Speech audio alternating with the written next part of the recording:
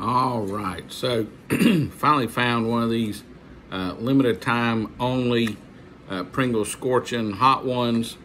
And this is the, uh, I'm gonna mess this up, this is the Los Calientes Verde. Now you can scan, and I guess this allows you to tell how hot on the scale uh, what you've got here. I have not scanned it, I'm not gonna do that we're just gonna try it outright and you can see I've not opened this can until now. So let me get this top off. So totally unopened. Take that all the way off. Hmm, they smell pretty. You got a greenish tint from the, the Verde. And you can see it's covered. So let's see how hot these really are. So here we go. Mm. That, that's pretty warm.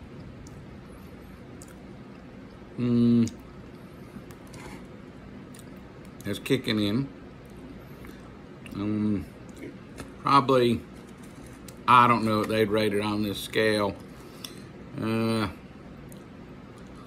it's probably close to in here if I was to guess. Uh, now that bite's about it's about gone. Just got a little kick at the start. If I crammed a bunch of these in my mouth at one time, like I've got three here, and you can see it's got a lot of that coating on there. So obviously this would be much hotter.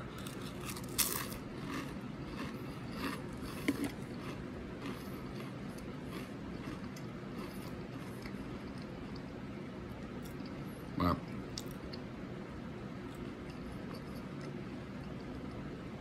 Now there goes the kick.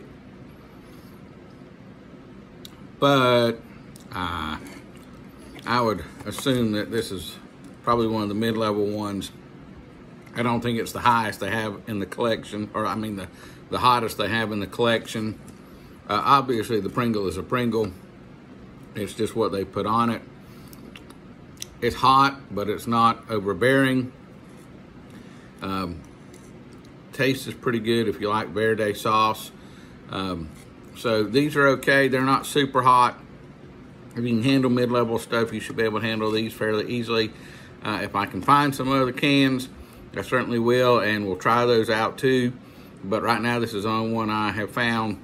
It, it's my mouth has got a little tingle to it, but it's not that bad.